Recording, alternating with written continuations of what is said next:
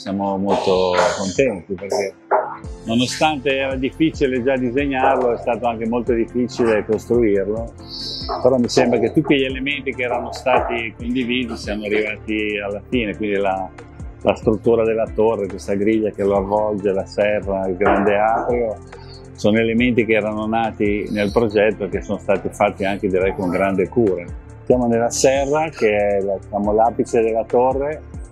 una serra vera, sono, saranno le piante ed sarà una lounge, quindi questo è è un luogo di mitigazione, non, non essendo condizionato ha una variabilità di temperature che è legato poi al clima invernale estivo. È anche il luogo forse più rappresentativo, no? il fatto di arrivare in cima, vedere tutta Milano, avere un luogo anche di luce, Insomma, mi sembra che sia il valore aggiunto di costruire una torre.